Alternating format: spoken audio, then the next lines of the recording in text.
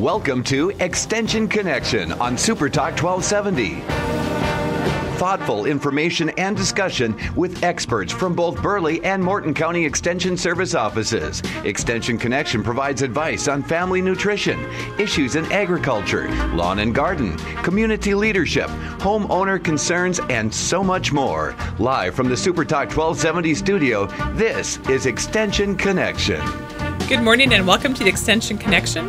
This is the Morton County Extension Office here visiting with you today. And this is Vanessa Hoynes, and I'm joined by Renee Tokash. And I think later we'll be having uh, Jackie and Carla will also be joining us. So stay tuned for those, uh, those voices joining us later. Well, Renee, Renee's been our intern for a few weeks now. Anything you want to share with the with the audience? Um, it's been an interesting internship. Uh, it's a lot of new stuff every day. It's not really the same thing any of the days. Um, anything can really happen on a day to day basis that changes the whole plan. Um, there's a lot of meetings to attend, which I've been going to a lot, but that's a part of the internship and learning how to do extension work. Well, good deal, good deal. And I think it's been kind of fun. Um, you've had a chance to kind of revisit some of your old stomping grounds with uh, going to some of the 4-H events and helping out with consumer choices and um, those kinds of things, which are I think are near and dear uh, thing, to your heart too. Oh yes. So that's kind of fun. Well, I know we really appreciate you having you a, a team member in our office and and look forward to you helping us out with more things and, and doing more more projects. Um, well, I'm going to talk a little bit about uh, today of July is actually National Picnic Month, and I think that makes uh, makes some good sense as we look at the Fourth of July coming up. I also thought I'd talk a little bit about some tips on grilling. I'm guessing that there are going to be lots of grills heating up in the next few days, and probably for the rest of the summer, um, as we look at the the nice weather that we're going to have for the holiday season. And then that also leads us to maybe some tips about playing out in the sun, which I'm, I'm sure again we'll be doing a lot of that in the next coming days. So, starting out with picnic month. Um, this is an opportunity to get outside and enjoy those foods um, that we sometimes um, like to hover inside and let's get outside and enjoy some fresh air and have a picnic outside with that. So, a couple things to keep in mind is to make sure that you think about going green. Um, having a picnic is an opportunity um, sometimes to add some more of those greens and other fruits and vegetables to your to your menu. Um, maybe you want to toss a salad or to add to wh- whatever you're eating or cut up some vegetables and fruit. That can be a healthier choice than than just grabbing that bag of chips that we might grab and stick in our in our picnic basket. Also going lean. Uh, making sure that we're trimming, that we're choosing lean meats if we're planning to grill, or um, other meats that we might choose for our sandwiches when we're having a picnic, um, so that we we have those healthier choices along with that. And then also, um, you can also make over some of your recipes. Maybe some of your salads could use uh, looking at to see if that there are some things you could trim. Some of our sauces for our salads can be very high in calories. Also, with whole foods, when we're picnicking, you might be tempted to turn to some of those prepackaged or convenience foods rather than choosing whole foods. And um, you can really save calories and provide more nutrients to your family if you're choosing um, whole fruits and vegetables uh, rather than things that are already prepared or processed and, and partially ready to go for you. And then, probably most importantly, we need to make sure we have safe foods. Uh, when we, whenever we're serving food outside, we always have to make sure that we're keeping those hot foods hot and cold foods cold. Um, hot foods need to be above 140, and cold foods need to be below 40 in order to keep them safe. And um, a rule of thumb is that when foods are out of the cooler or out of refrigeration, uh, two hours is our limit. And then, of course, looking at the or listening to the weatherman, if we have those days that are above 90 and we're having our picnic, then foods can only be out, out of that cooler for an hour. So we need to make sure that um, if we if we are having a picnic in those hot weather days, we need to make sure that we serve the food and then really get it right back into the cooler. Otherwise, we're going to have to um, throw it away and not be able to use it, and that's always a, a sad thing. And then the last thing we need to keep uh, keep an eye on is clean, making sure that we clean our picnic spot both before and and uh, after we have our picnic. Always checking to make sure that you have clean water there or bring water in order to um, either both to drink and also to use in that process. And then extinguish extinguish that campfire uh, if you have started one to make sure that we don't start any fires after you've had your wonderful picnic some food uh, fun food tip ideas for picnics that I found that might be kind of some fun things you could bring along for a picnic would be to cut um, triangle shaped wedges of watermelon and then um, puncture the bottom with a stick in through the rind and make it look like a popsicle for the kids. Can be a fun way for them to have a healthy snack. Or also making i think we're, we're familiar with kebabs when we think about putting kebabs on the grill. But how about a sandwich kebab? You can have use small pieces of bread, cheese, perhaps grapes or tomatoes, um, some chunks of sandwich meat, and maybe some olives. And the kids could even create their own sandwich kebab if you wanted to, and that can be a fun way to um, to serve that sandwich rather than the old run of the mill cut it into four corners kind of thing. Or how about a fruit caterpillar? Place purple and red grapes alternately on skewers. And again, that can be something that can be fun to eat as well as healthy. Another refreshing treat could be taking ice cream cones and filling them with melon balls. Again, a fun, uh, fun way to serve that and a fun way to eat it in addition. Or try some crunchy vegetable flowers.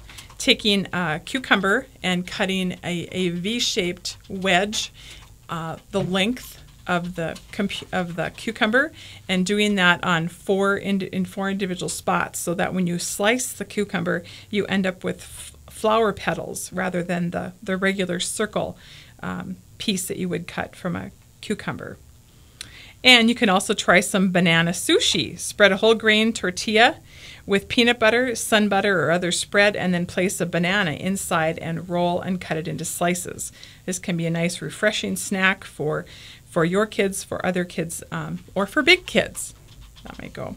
Another kid favorite can be, of course, making those dessert, those dirt desserts using a healthy pudding and then adding some of those gummies with some crumblings of chocolate cookie crumbs on top. So those are some things that we can keep in mind during July being our picnic month, and we um, will also be talking about grilling a little bit later and the safety things to be concerned and to be aware of when you when you think about grilling. And so with that, we are going to take a break and we'll be right back with the extension connection. Currently, it's 68. Get the traffic and weather information you need anytime on Supertalk 1270 and online at supertalk1270.com. And we're back with the Extension Connection. This is the Morton County Extension Office. Uh, Vanessa Hoynes, and I'm joined by Jackie Buckley, Renee Tokash, and Carla Mickle. Um, we were just talking about July being picnic, National Picnic Month, and uh, perhaps we'll talk a little bit more about grilling later. But while I have you listening, I also wanted to mention that if you need a meat thermometer and are looking for one, if you stop by the Extension office in Morton County, either today or tomorrow, we will get you hooked up with a meat thermometer that you can use over the 4th of July.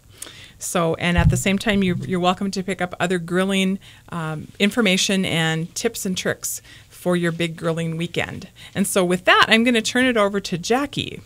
Good morning, everybody. Um, Renee, you have a bison shirt on today. That is so awesome. It's my first bison shirt.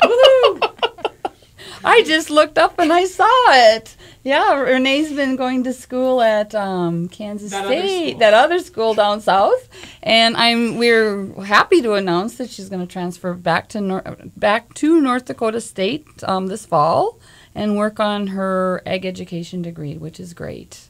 Um, I'm going to talk just a little bit about a news bit that came across on one of the blogs I subscribe to, and it's about Costco and HSUS. Um, and the quote at the beginning is, is An appeaser is one who feeds a crocodile, hoping it will eat him last. Um, this, uh, this is what a, a blogger wrote. Um, and so this is something that Costco is considering or working with. In February 2007, Costco declared its intent to transition to all cage free eggs. At that time, HSUS was Costco's biggest fan, declaring the announcement a victory after a two year campaign and applauding the move. Costco apparently didn't move fast enough for HSUS. Like HUS's liking, and they are back to bully the brand again. On June 9th, um, about two, three weeks ago, HSUS released a footage shot from a Pennsylvania egg farm that supplies eggs to Costco and other large retailers. The main thrust of HSUS's campaign is that the farm still uses cages to house laying hens. HS, HSUS claims that the, this is somehow misleading to Costco shoppers, even though cage free appears nowhere on the eggs packaging. and Costco recognized upfront its 2007 announcement that supplying cage free eggs was going to be a sourcing challenge and they would need to complete the change. Um, the most interesting part to, to this blogger is is Costco, Costco It's Time to Go Cage Free campaign is this landing page. The page includes a form for visitors to submit their email address, phone number, and zip code. Once receiving the information, an HSUS representative will call the number, giving talking points about the issue, and connect the caller with Costco customer service. It's telling that telling that HSUS's followers apparently aren't interested enough in the issue to look up a number and dial the phone themselves. Um, Costco has kept pretty mum about the campaign until yesterday, when it quietly posted a response on its customer service page and began responding to posts on social media. This time, Costco chose not to appease HSUS, which is great news. Um, rather than accepting HSUS's positions on animal welfare as fact, the response acknowledges vigorous debates about animal welfare and laying hens and that some advocate advocate, excuse me, that cages are safer for the hens. The response goes on to point that consumers have choices at the grocery store and are free to purchase a variety of cage-free and organic options that Costco offers. Um, the blogger states that she's pleased and relieved to see a large retailer stand up for science and consumer choice rather than to bend the demands of activist groups. Hopefully, other companies will learn from Costco's experience that appeasing the activists will not make them go away. They will be back to continue to demand to damage brands. Today it's cage free, tomorrow it could be range free, the next day it might be something else. It's important to realize that no production system will satisfy groups with the ultimate goal of eliminating meat consumption. Okay, and so this blogger says, Now I will be out to join her nearest Costco. And so that's something that's really good news that Costco didn't let HSUS bully them into um, thinking that they had to have all cage-free hens, I mean, excuse me, cage-free eggs on their on their shelves. And so um, that's that's really a, a good uh, good deal. Um, Renee, um, I gave you a little piece about pink eye in cattle. Would you like to discuss that? Yes, um, we'll be talking about how to prevent and treat pink eye in cattle and some tips to control the flies. So, pink eye is a painful cattle disease that can cause reductions in weaning weights as much as 17 to 65 pounds per animal. And once pink eye begins to spread, it's very difficult to contain and control. So, face flies play an important role in the spread of pink eye, as an irritated eye produces excessive tearing that attracts pests, and then these face flies pick up the causative agent of pink eye and then transfer it to other animals in your herd. In comparison to horn flies, face flies actually spend little time on the animal, so one face fly can spread pink eye to several animals within the same day, which is why it's important to be aggressive about pink eye control as soon as signs are seen that it is in your herd. In most situations, the first step in getting control is to control the flies, and there are several options for that, including fly tags, pour-ons, sprays, dust bags, and back rubbers. So, some tips on how to control flies. Um, you can't always eliminate the fly problems, but you can lessen their negative impact. Flag ties or fly tags, excuse me. That's okay. perform best when administered at the proper time. Unfortunately, this means cattle might have to be brought in specifically for administering fly tags, um, as spring branding, castrating, dehorning, and vaccinating are frequently completed prior to the optimal time for fly tag administration. Thus, these tags are often administered as much as 60 days prior to fly season, which can hurt the tag's efficiency. And fly tagging cows is usually more effective than tagging the calves, but tagging both is probably the best uh, scenario that you can choose. There are also several pink eye vaccinations that can help. You should consult your local veterinarian about the timing of these vaccinations and which vaccine to use in your area. Many of these vaccines require a booster dose for greater efficiency, which could actually work uh, to your advantage. Since calves must be brought in for a second dose, fly tags can be administered at a time closer to the start of fly season. So, finally, to treat pink eye, the key to treatment is to catch the disease early on. Generally, a long acting oxytetracycline antibiotic is very effective, but resistance isn't uncommon. In this case, your local veterinarian may need to conduct a culture, culture and test to determine which antibiotic the bacteria is sensitive. Another key component to treating pink eye is protecting the eye from light, which is just as important as an antibiotic. Because ultraviolet rays can activate enz- enzymes that can cause more damage to the eye when the eye is infected. Eye patches are very effective in protecting the eyes from sunlight, but the challenge is keeping the eye patch on the animal. there are some eye patches um, that are out there, such as a constructive adhesive, um, such as liquid nails, but consulting your veterinarian um, is the best option to determine what product will keep the eyelid shut to protect the eye from sun. Another thing is pasture management. Um, this is important for pink eye control. Grass that is headed out can irritate eyes, causing them to tear and thus attracting face flies, and keeping pastures trimmed can reduce this irritation. Again, the best way to deal with pink eye is to get ahead of it and stay ahead of it. Do this by using a broad based approach inclu- which includes fly control, vaccination, and pasture management. Make sure to consult your local veterinarian to develop a program that is tailored to your operation and therefore preventing any pink eye um, in any of your herd. Instead of an eye patch, can you put sunglasses on it? I don't think cattle would like that very much. They'd they sure look cool though. you know, the coolest herd in the in the range. Yeah. yeah, and Renee comes from a, a, registered Angus operation here in Morton County, and I don't know if they've had any issues with pink eye. I know that a year ago um, we had a very bad infestation of pink, fi- pink eye in many of our herds in Morton County and I guess all over the state, along with foot rot. And so um, we want to make sure that you're aware of some things that you can do. Um, in our crop and pest report, we get that weekly. They have a little snippet that calls it the Good Bug Corner. And this week's Good Bug Corner, Good Bug Corner featured. Say insect, that three times fast. Yes, I know I can't. Is the spined soldier bug. It's um, or it's in the family of the stink bug. As the name implies, they will emit a strong odor when disturbed as a defensive mechanism. Spined soldier bugs are brown to tan, about 8.5 to 13 millimeters long, and they can be identified by their protruding spurs on the prothorax behind the head. This insect is an excellent predator on many insect pests of potatoes, beans, corn, and other crops. It prefers to feed on larvae of the European corn borer, diamondback moth, fall armyworm, cabbage looper, imported cabbage worm, Colorado potato beetle, velvet bean caterpillar, and flea beetles.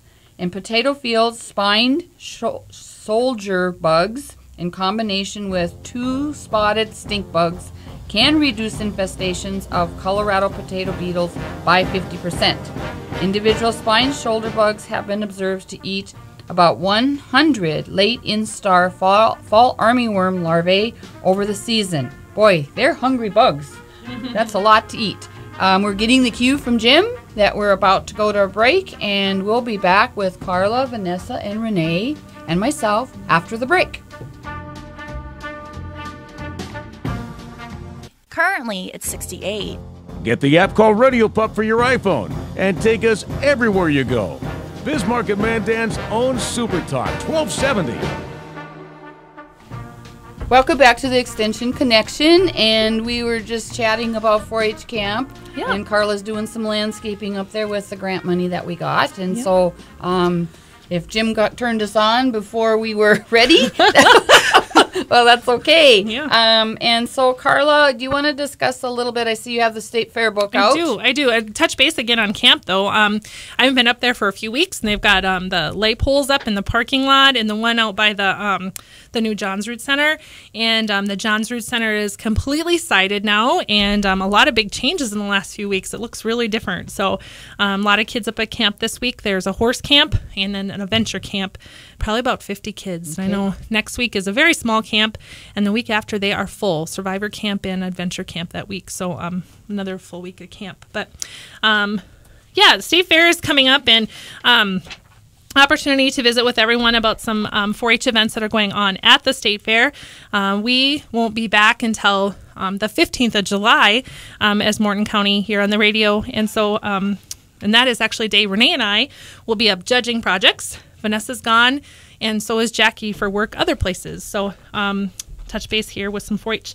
Um, 4-H deadline for exhibits for Morton County for the state fair is on July 9th. Um, so if any 4-Hers are listening out there, I know no one's got school, everyone's listening to us on the radio, um, then uh, your 4-H projects, with the exception of any perishables, so fresh flowers, um, any food that you're going to be sending up to the fair, um, any crops or vegetables, um, those need to be in the office on July 14th by 9 a.m. All your other projects need to be turned in by July 9th. That's a Thursday, and that gives us time in the office to get everything tagged and boxed up. So we can determine also what kind of vehicles we need to take up to Minot because we've been taking a trailer the last few years, and I know there's some big stuff going up. So um, on Wednesday, July 15th, Renee and I will be headed up to the state fair to help judge all the 4 H static exhibits.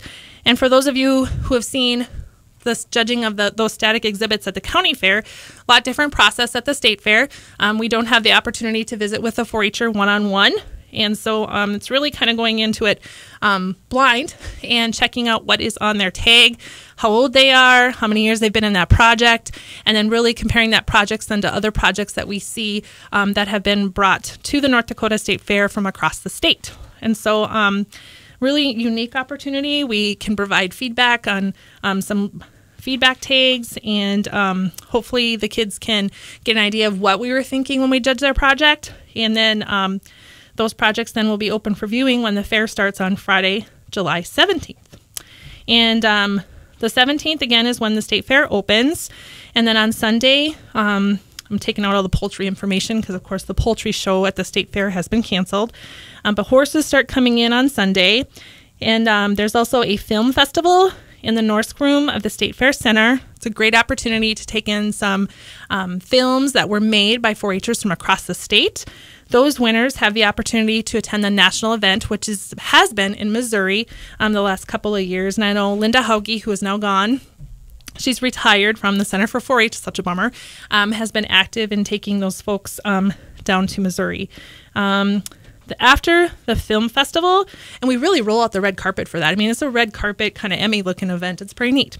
Um, right after that, we have the Communication Arts Contest, and that is in the upper atrium of the State Fair Center. On Monday, we start the 4 H Horse Show, um, a lot of different events. The 4 H Project Expo is also that day, the clothing review, and that kind of wraps up Monday. Um, Tuesday, we have the horse show, um, continues for 4 H, and then the beef, the sheep, the swine, the dairy, goats, and the junior sheep show, they um, start checking in on Tuesday. Um, gets pretty busy in the livestock expo barn. Um, registration for Consumer Choices is that morning from 10 until 11 at the State Fair Center in the upper atrium. And the contest for Consumer Choices, which Morton County does have a team, um, is on. We have two teams: a junior team and a senior team. So, and um, they, I think they have a workout this afternoon. Yay! They're getting ready for the state fair. Um, that contest actually starts at 11 o'clock. Um, we have awards then, generally around four, I believe. And then that evening, we enjoy a 4-H an FFA exhibitors picnic, um, which is always fun. You get to see 4-Hers and folks that we work with from all across the state. Um, swine check-in and weigh-in is Tuesday afternoon, and the sheep and goat market animals weigh in. And then we have penning of check-in and penning of rabbits. We're gonna pen the rabbits. and then um, weigh-in of the 4-H beef market animals, which I know can also be a very busy time up at the state fair. Um, Wednesday we continue the 4-H and FFA horse show, and then the junior steer and heifer point show um, starts in the all seasons arena, and that's at eight o'clock. And generally, that's quite a few participants, right, Jackie? Mm-hmm. Okay. Yep. Yep, and there is a junior show which 4-H and FFA members do participate in. And then we have 4-H swine show at 8 o'clock, the livestock expo barn. At 11:30, the rabbit show, and 1 o'clock, the sheep show starts. And that kind of wraps up the day. There's nothing else going on that afternoon, um, but those events take quite a while. And so if you're up in that area, please stop by and visit with these folks. Um, they put a lot of time in with their animals, and um, would be happy to answer any questions you have um, about 4-H or about their animals. On Thursday, the 23rd, we have the 4 H Beef Show, and that is again at the All Seasons Arena. And then there is um, a goat meeting um, at 2 o'clock in the afternoon, so they get ready for the goat show on the following day, which is Friday, July 24th.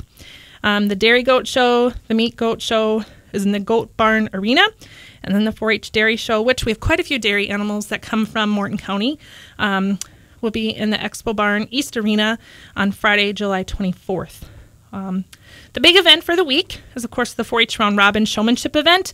Um, that event is held in the Livestock Expo building, which is the main arena of the Livestock Expo building.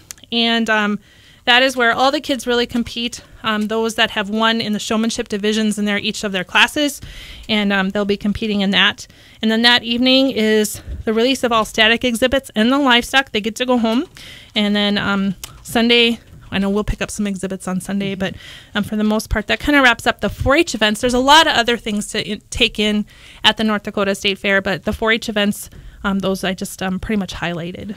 So, um, but if you have any questions about the state fair or events going on with the 4 H program, um, please don't hesitate to call our office, 667 3340. And in the past, um, we've had a really good representation just from Morton County with all of our animals um, whether it be goats or swine or beef um, or dairy. Um, we've had a really good showing. So a lot of pride in the kids here um, that take projects up and a lot of work that goes into it. So I'm looking forward to a really great week. So, else have anything to add on the state fair except for it's coming up really fast? Coming up too fast. Way too fast. Because then we know that our fair's just Yeah. around the corner. Yeah. Summer's almost gone. I yes, know. yes, it's yeah. Summer goes by really fast after the state fair is over with. Yep.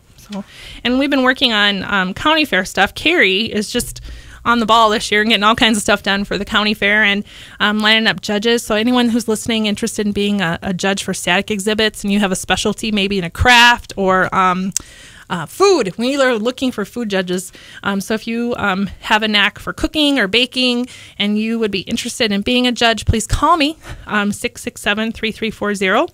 Um, I'm not afraid to do cold calling. I call out to the bank all the time in New Salem and say, Do you ladies know anybody who can help me out with foods? And they usually give me a, a nice list of um, names for sewing projects and crafts and uh, um, all kinds of things. So, photography. I know I've gotten some photography judges from them as well. So, um, the other thing I have to visit about is I had the opportunity last week to attend the National 4 H Shooting Sports Championships down in Grand Island, Nebraska. North Dakota took three teams. We had a shotgun team represented by Ramsey County, we had an air rifle team represented by Cass and Richland County. I almost forgot. I was there. I spent a whole week with them. I forget. And then our archery team from North Dakota was represented by Emmons County. And um, great showing by North Dakota. Um, not one of our our count or our um, participants um, came in last. Um, you know, they were all um, up pretty high, I would say. Our archery team finished 16th overall. They had a great showing. Air rifle team, they finished 19th overall. And the shotgun team, they were actually on the medal stand on um, the Friday. Um, they received fifth place overall um, for the whole event. And then the trap team, um, that was part of the shotgun team, actually finished in third. So those gentlemen got a ribbon and a medal. And um, just what a unique opportunity. Um, 632 participants from 33 states, and just a great group of people. And personally, it was um, an opportunity for me to learn from others and bring back some great information. And everyone was very helpful. And also those that represented North Dakota great group of young men, and their parents were wonderful to work with. And um, I just wanted to thank everyone and congratulate everyone for um, their placings at nationals, and um, look forward to another great year next year. So, with that, Jim gave us the cue for a break, and we will be back here shortly. Currently, it's 70. Sean Hannity, weekdays at 2, only on Super Talk 1270.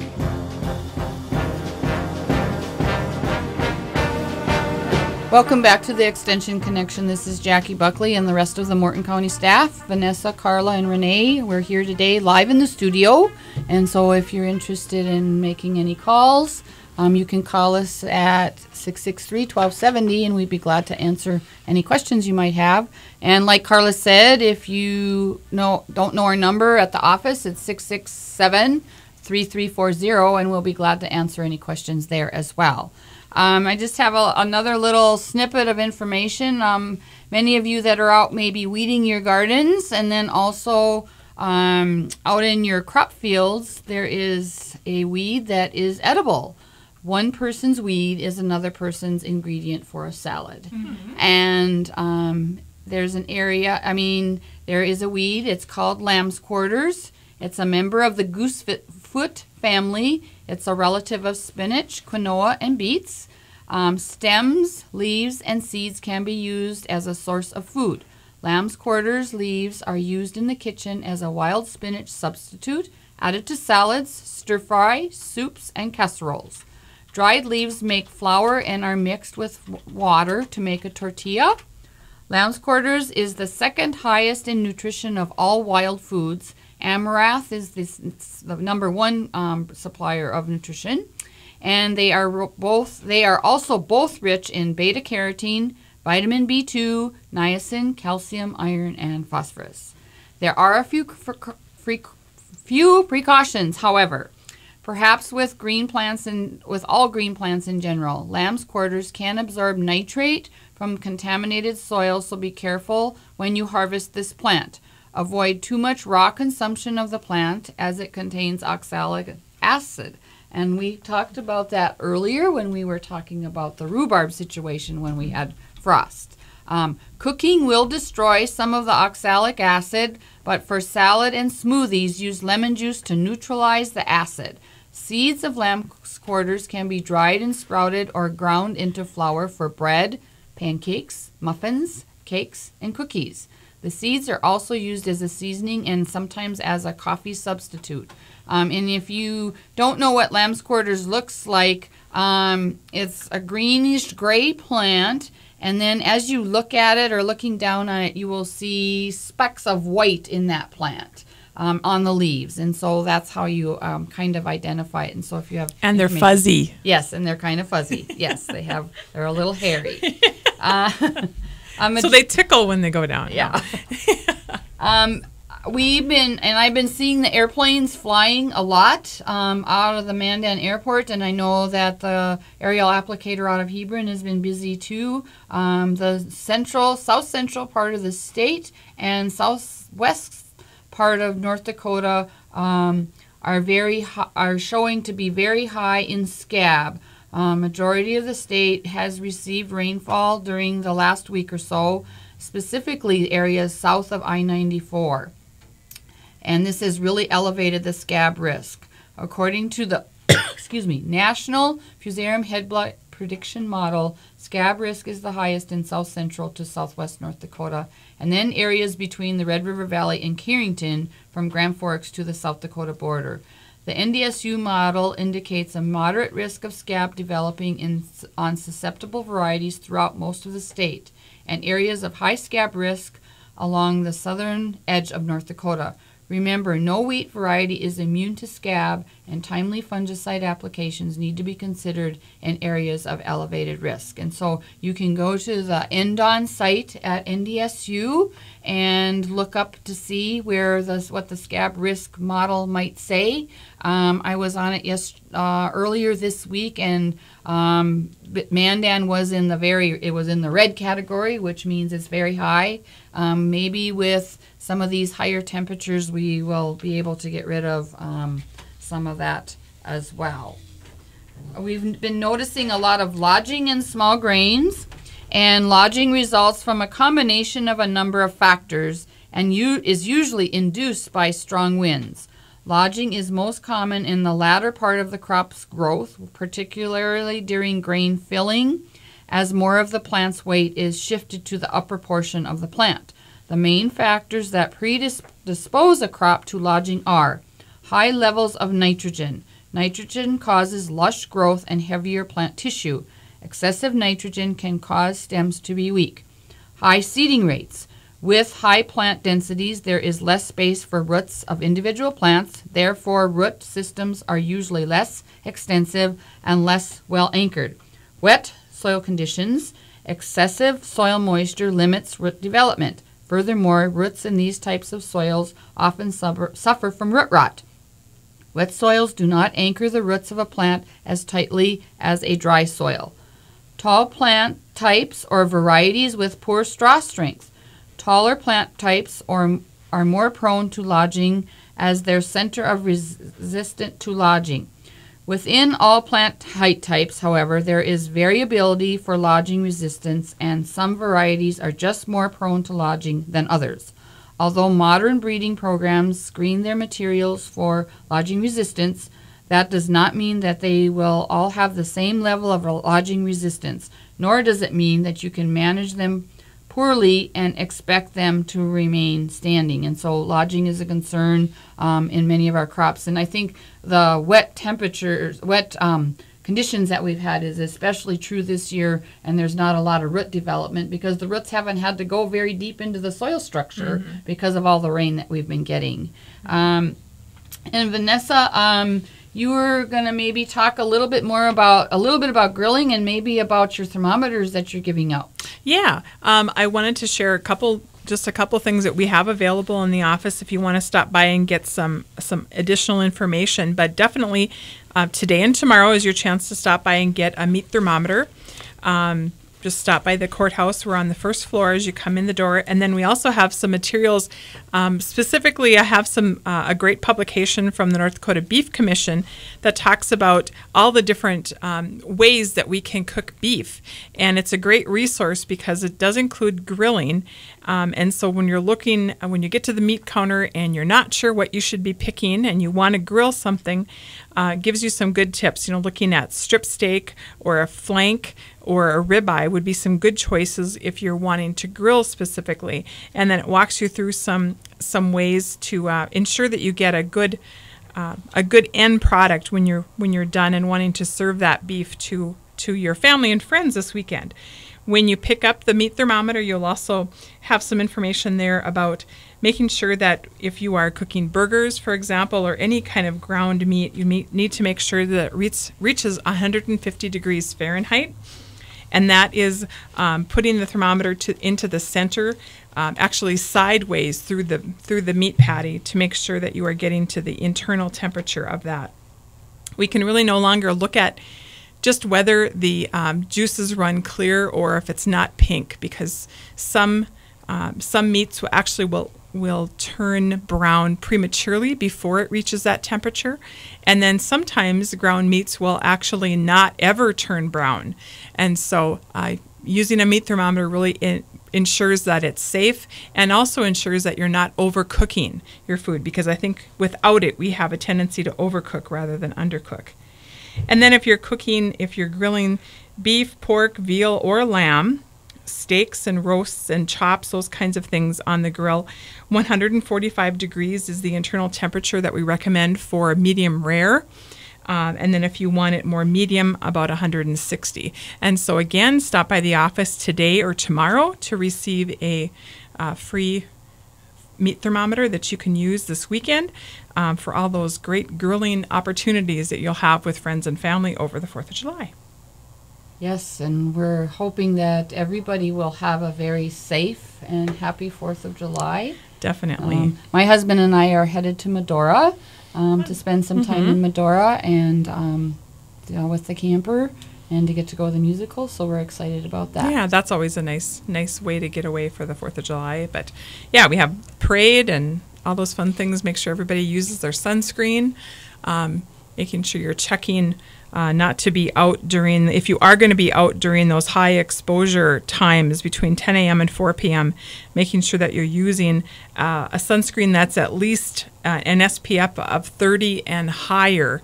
And then make sure you're reapplying that every every two hours again. So it'll take a couple applications if you're going to the parade. Yeah. or make sure you wear a big floppy hat or some have some clothing that you can use to put over the top if you're if you're getting a little bit more sun than than you want. Um, and I think just everybody to keep in mind that it there is no tan that is a safe tan. Um, all tan indicates that your skin has been damaged. That's how it tans. Yes. And so you look healthy when you're nice and white and pasty. no, you don't. I don't like being white and pasty. I'm sorry, Vanessa.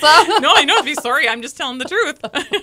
no, no. But um, making sure you're protecting yourself from the sun is a good idea, Yep. especially those little ones out there. Okay. And so we will um we'll be talking about probably the Morton County Fair some more when we um, continue our uh, extension connection the next time we're on. And um, we're just doing some wrap up things here.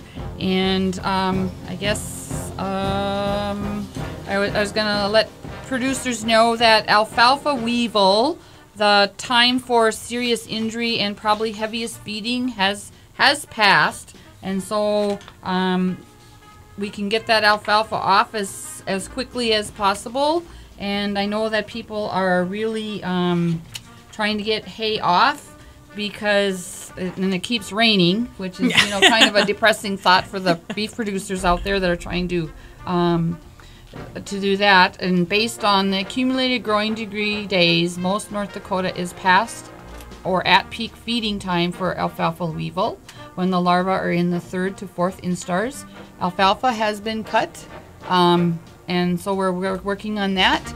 And Jim has given us the cue. We only have a few seconds left. So happy 4th of July, everybody.